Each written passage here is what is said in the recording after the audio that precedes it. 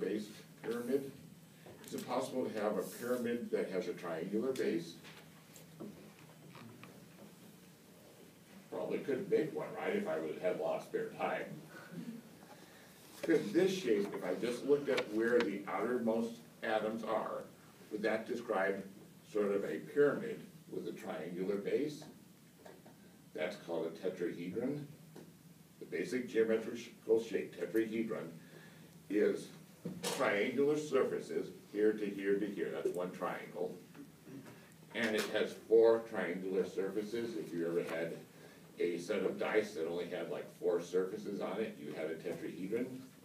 I've occasionally seen dice that only had four sides on them, instead of a regular cube which has six sides. Let's see, so that's tetrahedral. The ammonia is gonna be a modification of that, something like so. I wanted to make water, anybody know how I could make water? Huh, any ideas? Water, isn't that H two O? Oxygen normally has two bonds, if this is my oxygen, this is my two bonds, oxygen usually has. Doesn't it usually have two lone pairs? The water is H two O, and it's something like this. The thing is, when we go to draw these out, let's say, I've got lone pair right there, hydrogen up here.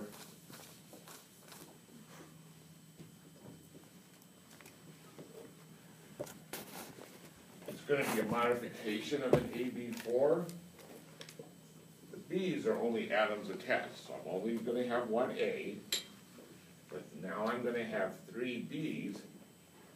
And for my lone pair, another name for lone pair is non-bonding pair. So it's an AB3N, which is called a trigonal pyramid.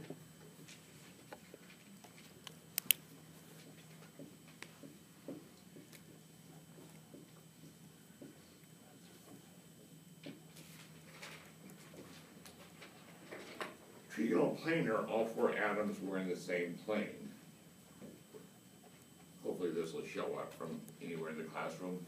Is this nitrogen, nitrogen of ammonia, is that above the three hydrogens? Is it pretty obvious this atom here is above the three hydrogens sitting on the desktop? If it were trigonal planar, that atom would have to be way down flat on the desktop.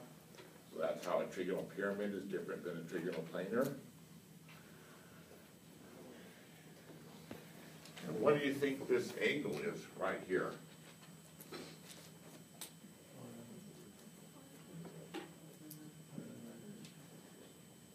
There isn't any additional information that I hadn't told you yet, it'd be hundred and nine point five, but it's hundred and seven. We'll come back to that. I had made water a second ago.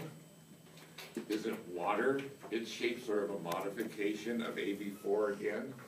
By that, I mean it's still got four pairs of electrons around it. So if I have water, I was hoping to be able to fit water right under here and have all the things or modifications of AB four in a column, but that's not gonna be very visible. I'll just draw it over here.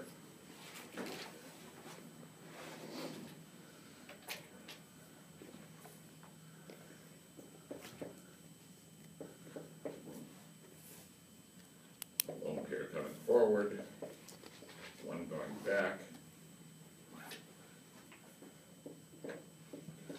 I'm gonna have I'm gonna have B's, and I'm gonna have N's. How many B's would I have for water? Two. How many lone pairs? Two, so AB two, N two.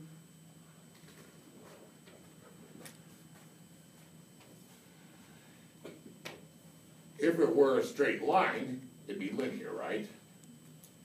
So we're really only worried about where my three atoms are. Are they in a straight line? Are they linear? It's bent. All there is to the name, bent. So AB2N2 is a bent shape. And what do you think the angle is for water?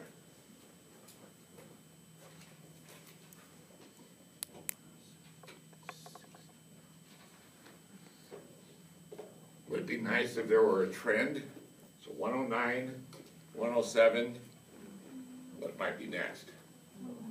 105, we round to the nearest whole number, it's hundred and five. Okay, why? I realize we're pretty much out of time, so I try to go through this quick. Again, these are balloons. Which balloon is bigger?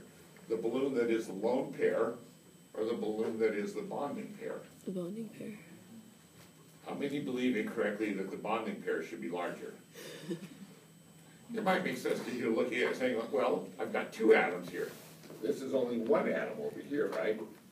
But isn't an atom a collection of protons? Either way, it's two electrons in a cloud. Which cloud is gonna be pulled in more tightly? The one that's attracted, attracted to two nuclei? Or the cloud that's attracted to only one nuclei, the lone pair? These are gonna get pulled in more tightly.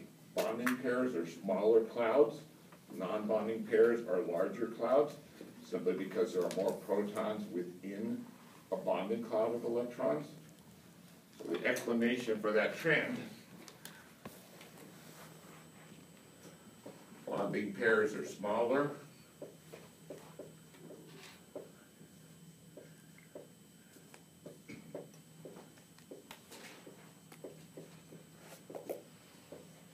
Or lone pairs are larger. They take up more space because they have fewer protons within that cloud. I'm not quite done, I'm, I'm about ninety percent done with all of the things that follow the octet rule, but I'll finish up. The octet rule will go with hypervalent when we get to essay today or tomorrow. Um, in this model that you have here, you have the lone pairs, um, to this, to a specific side. Um, would it matter if it was the other way around? I think she's asking sort of an important question, you're asking like if you draw Lewis dot, dot Shear, doesn't matter if you do that, that, No, no, no, I mean like.